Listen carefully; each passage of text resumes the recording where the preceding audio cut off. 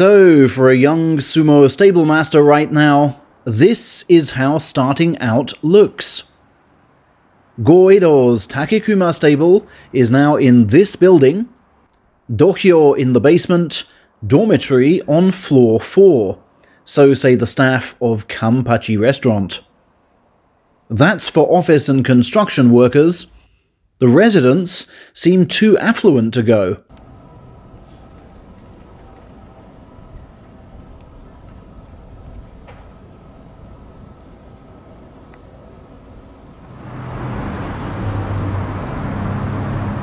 This part of sedate South Tokyo suburbia is bisected by the Nakahara Highway, then quartered, would you believe, by a bullet train line. Just meters, in fact, from tranquil Ontake Shrine. This, then, is the place in which Takekuma hopes his small but growing band of men will shine. Pivotal now, for stable interest and investment, is the growth of lead wrestler Toki Nishikawa, a third divisioner who you may recall having quite a new year. His post injury comeback began against Nabatame, pushing up with the left, jabbing with the right, until his foe grew tired of his firmly balanced feet.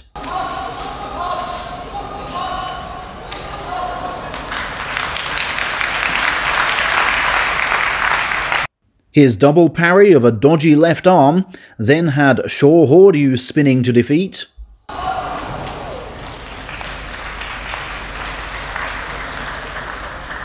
While, despite the fumbled pull, further firm low left knee led thrusts accounted for Hikari Fuji.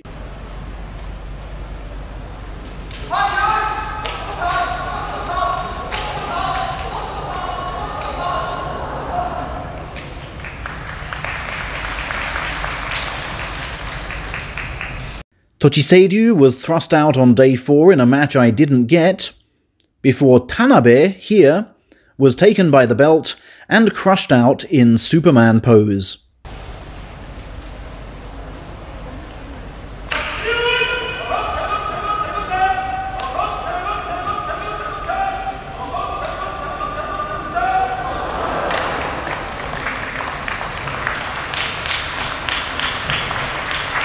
That moved Nishikawa into title eliminators, where he first read Roman's sideways dart.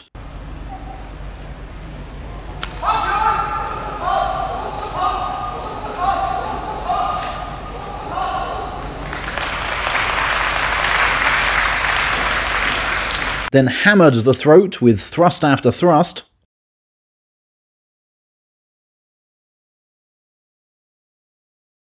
And the decider saw him outfox even Ryuden.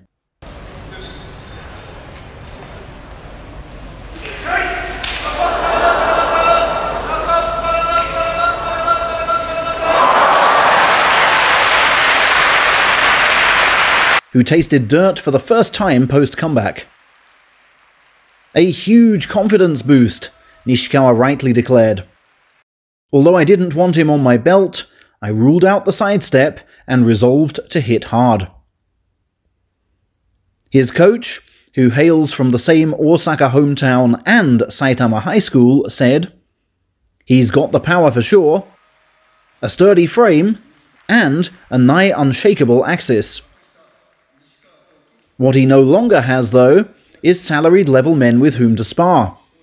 His split from Sakaigawa stable dividing him from these three.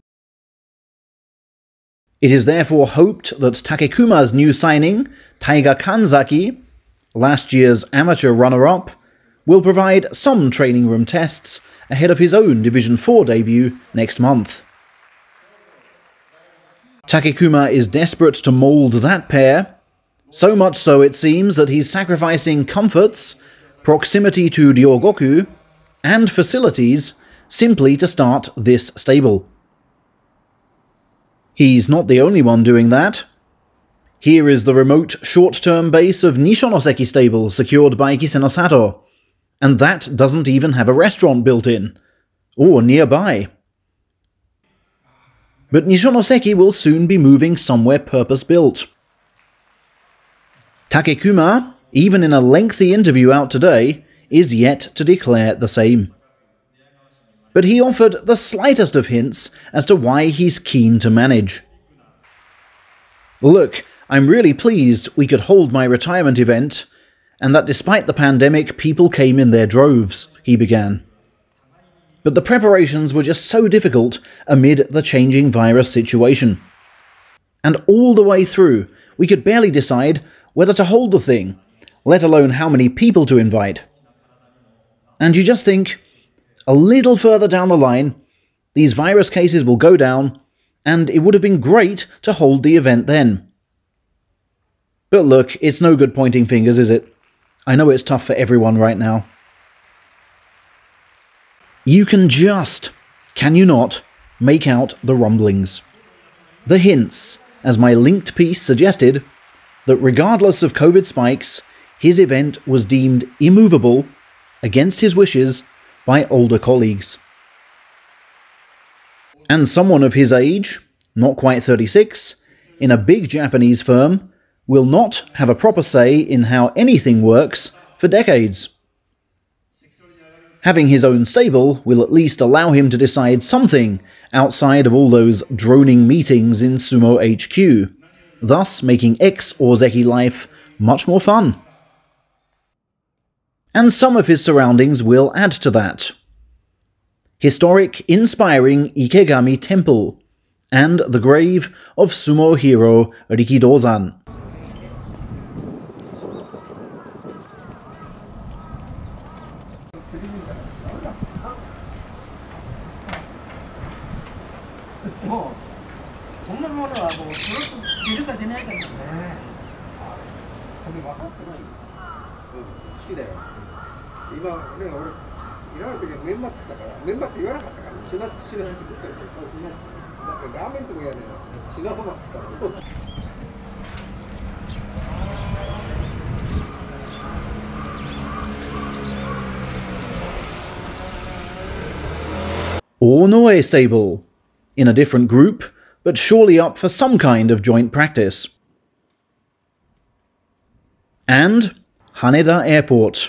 with its ease of access to his native Osaka. That's where the March meet is, of course. And will his Takekuma boys be flying?